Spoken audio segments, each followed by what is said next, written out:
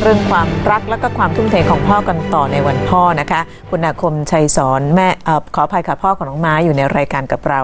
ตั้งแต่ตอนแรกก็เล่าเรื่องอาการของน้องให้ฟังนะคะ มาถึงจุดที่แม้กระทั่งผู้ใหญ่ยังไม่ค่อยอยากจะเผชิญกับมันสักเท่าไหร่ก็คือการให้เคโม ครับ เป็นยังไงบ้างคะ คือลูกสู้มากเลย แต่พ่อนี่คงคงเจ็บปวดนะ คือจริง ๆ แล้วเรื่องของความรู้สึกมันมีอยู่แล้ว ค่ะ เพียงแต่ว่าเราเป็นพ่อเป็นผู้ชายบางที เราแสดงออกไม่ได้ อย่างเวลาเจาะเลือด ฉีดยา หรือว่าลูกมีอาการเจ็บปวดเนี่ยแม่เขาก็แสดงอาการชัดเจนอยู่แล้วตามภาษาผู้หญิง แต่ถ้าพ่อเศร้าหรือว่าร้องไห้ไปอีกคนเนี่ยครอบครัวก็ไม่มีหลักยึด แต่นี่คือการแสดงความรักอีกแบบหนึ่ง ซึ่งครับต้องเป็นหลักให้ครอบครัว บางทีก็ต้องมีมีแอบไปร้องไห้เหมือนกันบางทีแบบ ฉีดยาหนักๆหรือว่าลูกร้องหนักๆหรือว่าอาการแย่อย่างเงี้ยแต่ว่าตอนหน้าเราแสดงไม่ได้เราต้องทำตัวให้เป็นเป็นหลักยึดของครอบครัวฮะบางทีเราแค่เห็นว่าลูกเจาะเลือด หรือว่าโดนฉีดยาอย่างเงี้ยเราน้ำตาก็จะไหลแต่เราต้องทำนิ่งๆไว้ ก็ต้องต้องต้องเป็นหลักยึดถ้าพ่อกับแม่อ่อนแอหมด มันก็ไม่มีหลักยึดนะฮะครอบครัวก็คือตรงเนี้ยแม่ก็ดูแลใกล้ชิด ให้ความรัก ให้ความอบอุ่นไป พ่อก็ต้องเป็นหลักให้ครอบครัว ก็ก็ต้องก็ต้องอย่างเงี้ยฮะถ้าอ่อนแอทั้งคู่ลูกลูกก็จะแย่แต่สิ่งที่เป็นกำลังใจก็คือสัญญาณที่น้องไม้บอกว่าผมสู้พ่อครับ อันนี้คือกำลังใจสำคัญเป็นอันกำลังใจอันดับหนึ่งเลย ถ้าลูกอ่าผ่าตัดแล้ว ให้คีโมแล้วไม่สู้เลยอาการไม่ดีเลยอย่างเงี้ย ใจเราก็คงไม่สู้ขนาดนี้ต้องต้องชื่นชมว่าน้องไม้เนี่ยว่าเป็นเด็กที่สู้มาก อะไรที่เป็นการส่งสัญญาณว่าผมสู้พ่อ ก็อย่างที่เล่าไปตอนแรกก็คือตอนค่ะที่หลังผ่าตัดสมองอาคืนแรกก็ดึงสายออกซิเจนออกเลย ย้อนไปก่อนหน้านั้นตอนที่ไปสังเกตอาการเอ่ยชื่อได้นะฮะโรงพยาบาลเด็กเขาก็มีอย่างนี้เหมือนกัน คือตอนนั้นคือยังไม่รู้ว่าเป็นอะไร เขาก็ต้องให้ออกซิเจนไว้ก่อน น้องก็ดึงสายออกซิเจนเหมือนกัน ก็คือน้องแสดงอาการอย่างนี้ตลอดจนจนพยาบาลที่ดูแลเขาบอกเลย เด็กคนนี้ไม่เหมือนเด็กป่วยเลยเออถ้าไม่เขียนว่าเป็นอะไรอย่างเงี้ยไม่รู้ไม่มีทางรู้ว่าเป็นเด็กป่วย ยกเว้นว่าตาตาข้างขวาที่บวมหน่อยๆบวมที่เกิดจากก้อนเนื้อมาเบียดทับ ก็คือน้องแสดงอาการอย่างนี้ตลอดแล้วก็กินนมเล่นได้ปกติอะไรเงี้ยถ้าไม่มีไม่มีแผลผ่าตัดที่ศีรษะด้านขวา ตาด้านขวาที่ปิดก็เหมือนเด็กปกติทุกอย่าง เรื่องราวของน้องไม้เนี่ยก็มีคนติดตามนะคะครับทั้งคนที่มาให้กำลังใจแล้วก็คนที่ได้รับแรงกำลังใจกลับไปด้วยนะคะครับจนกระทั่งมีการทำ Facebook นะคะครับแล้วก็มีการเขียนอาการอัปเดตให้เรื่อยๆนะครัคะบแล้วก็มีการเรียกว่า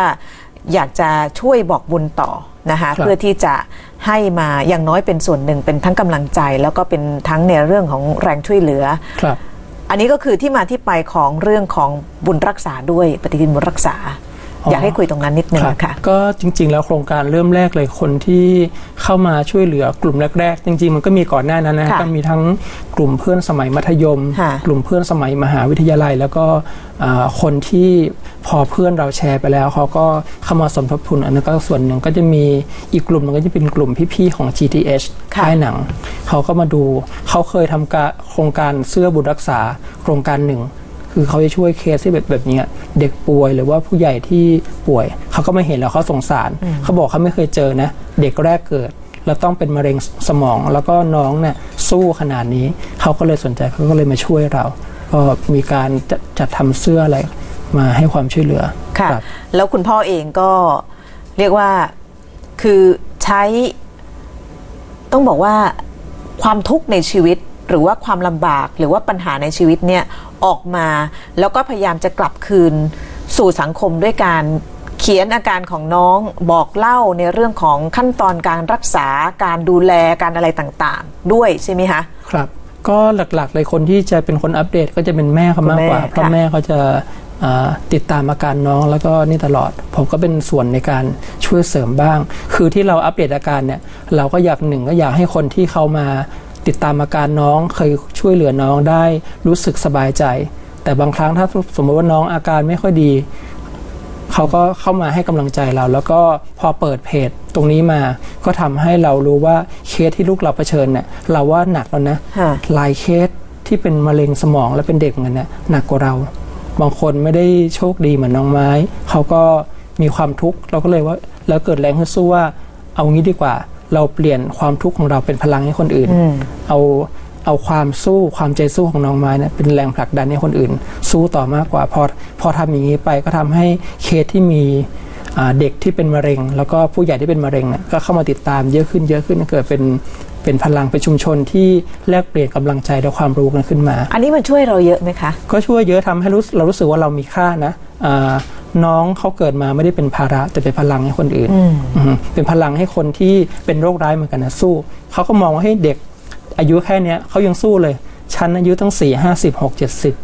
หรือว่าเด็กที่เป็นมะเร็งเหมือนกันพ่อแม่เขาก็เกิดแรงสู้ว่าเนี่ยน้องไม้ยังสู้เลยลูกเราก็ต้องสู้อย่างน้องไม้สิทำให้เราเกิดความภูมิใจครับ มีการแลกเปลี่ยนระหว่างครับพ่อแม่ครับนะคะระหว่างคนที่อาจจะมีปัญหาแบบนี้นะคะครับก็เรียกว่าเป็นการบอกบุญบอกกุศลต่อในแง่ของความรู้ครับนะคะทั้งในเรื่องของโรคแล้วก็การรักษา ทีนี้กลับมาเรื่องของน้องไม้หลังจากที่เอ่อให้เคโมเรียบร้อยแล้วเนี่ยมีโอกาสไหมคะคือแน่นอนพ่อแม่ทุกคนหวังว่าลูกเราจะหายเป็นปกติ แต่ว่าโรคนี้เป็นโรคที่เมื่อสักครู่ทางคุณพ่อบอกก็คือ มีโอกาสที่จะหายเป็นปกติ แล้วก็มีหลายเคสที่สามารถที่จะหายได้ด้วย ครับก็เท่าที่คุยกับคุณหมอคุณหมอบอกว่าอาโอกาสหายประมาณ 60%ซึ่งเราก็หวังว่าน้องน่าจะเป็น 60%ในนั้นนะฮะเราด้วยด้วยความคาดหวังของเราด้วยแรงใจจากคนที่เข้ามาติดตามเพจ เป็นพ่อแม่อุปถัมภ์ของน้อง ที่ช่วยกันส่งกำลังใจ ส่งความช่วยเหลือในรูปแบบต่างๆ ก็คิดว่าอยากจะให้น้องเป็นหนึ่งใน 60%นั้น เป็น ร้อยเปอร์เซ็นเลยได้ไหมคะก็ใจเราร้อยแล้วก็เกินร้อยแล้วฮะเราก็ค่ะคาดหวังว่ามันจะมีอ่าปาฏิหารย์เกิดขึ้นกับน้องค่ะครับ เคยสงสัยเหมือนกัน เพราะว่าเคยอ่านข่าวเด็กที่เกิดมาหรือว่าแรกเกิดแล้วเป็นมะเร็ง หรือว่าอายุหนึ่งเดือนสองเดือนสามเดือนแล้วเป็นเนี่ย พอจะมี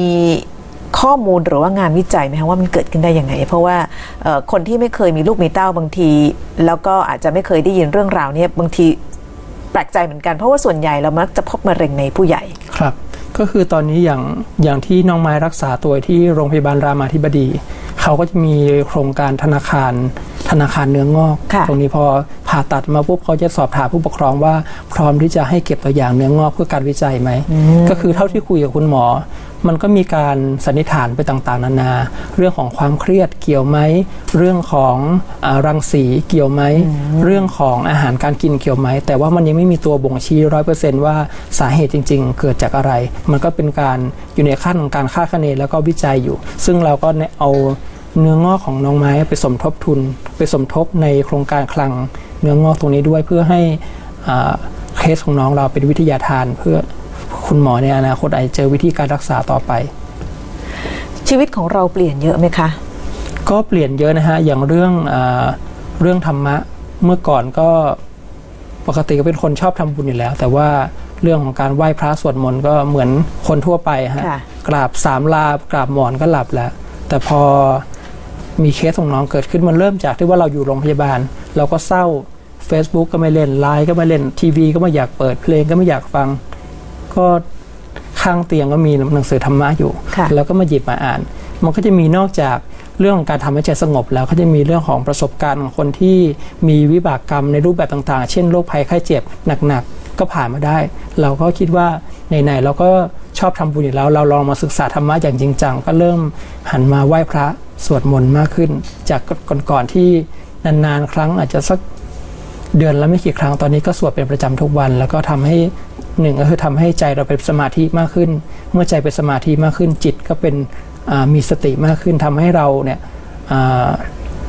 มองเห็นปัญหาของทางออกอย่างหลากหลาย ไม่ฟุ้งซ่านพูดง่ายๆคุณอาคมมีลูกชายคนแรก แล้วก็มีน้องไม้เป็นลูกชายคนที่สองมุมมองในชีวิต ปลี่ยนยังไงหลังจากที่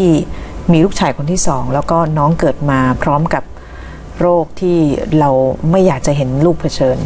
เปรียบเทียบกับตอนที่เรามีลูกคนแรกนะคะ ก็ตอนแรกก็คือคิดแค่ว่ามีภาระเพิ่มขึ้นมาอีกหนึ่ง เราคงต้องขยันในการทำมาหากินมากขึ้น ตอนแรกก็คิดเท่านั้นนะไม่คิดว่าจะเกิดขึ้นอย่างนี้ แต่พอมีน้องมีภาวะอย่างนี้เกิดขึ้นมา ตอนแรกก็ทำใจไม่ได้ เราก็คิดว่าเฮ้เราจะไปยังไงต่อนะ ครอบครัวเราจะมีรอยยิ้มเหมือนเดิมไหม ก็ทีแรกก็จมในความทุกข์เยอะ ก็มืดคิดอะไรไม่ออก แต่พอสถานการณ์เริ่มคลี่คลาย เริ่มมีคนเข้ามาให้กำลังใจมาแลกเปลี่ยนประสบการณ์ มุมมองแล้วก็เปลี่ยนไป เรากลับคิดว่าเนี่ยลูกเขาอาจจะเป็นบททดสอบอะไรบางอย่าง อาจจะเป็นสิ่งที่ข้างบนเขาส่งลงมาเพื่ออาอาจจะเป็นสิ่งที่สร้างกำลังใจอันยิ่งใหญ่ให้กับผู้คนมากมาย โดยเฉพาะคนที่เขาป่วยด้วยโรคภัยไข้เจ็บ โรคร้ายแรงที่ใครก็คิดว่า อาจจะรักษาไม่หาย น้องเขาอาจจะเกิดมาเพื่อสิ่งนี้ก็ได้เคยมีคนบอกกับดิฉันบอกว่าบางทีเรื่องที่เกิดในชีวิตของเราไม่ว่าจะดีหรือร้ายเนี่ย มันอาจจะมีเหตุผลของมันอยู่ครับ ในทางในทางพุทธผมก็เชื่อเรื่องกรรม ทุกสิ่งทุกอย่างมีเหตุและผล ไม่ใช่กรรมจากจากอดีตชาติทั้งเดียว กรรมที่เราทำนี่แหละฮะมันทุกอย่างมันทำแล้วไม่ได้สูญสลายหายไป สักวันหนึ่งมันก็ต้องย้อนกลับมา เราคิดว่าเราก็ต้องมุ่งมั่นกับ เรื่องของการสร้างกรรมดี แล้วก็การที่เผยแพร่เรื่องของน้องในเพจน้องไม้นาวินเนี่ยน่าจะเป็นกรรมดีที่จะส่งผลให้น้องไม้แล้วก็คนที่มาติดตามเนี่ยได้รับกำลังใจแล้วก็ได้รับอ่ากำลังใจดีๆในการต่อสู้ชีวิตต่อไป เป็นการทำหน้าที่คุณพ่อได้แบบน่ายกย่องแล้วก็น่าชื่นชมมากในสถานการณ์ที่ยากลำบากต้องพูดว่าสำหรับทั้งคุณพ่อคุณแม่แล้วก็ครอบครัวนะคะ วันนี้ขอบพครัระบคุณแล้วก็ให้กำลังใจขอให้น้องไม้หายเร็วๆนะคะขอบคุณมากสวัสดีค่ะ สวัสดีค่ะ ทั้งหมดก็คือกรุณาทอล์กทูมีในคืนนี้นะคะ ติดตามรายการของเราได้ทุกวันจันทร์ถึงศุกร์คืนนี้ดิฉันและคุณอาคมลาไปก่อนค่ะเจอกันใหม่พรุ่งนี้ค่ะ สวัสดีค่ะ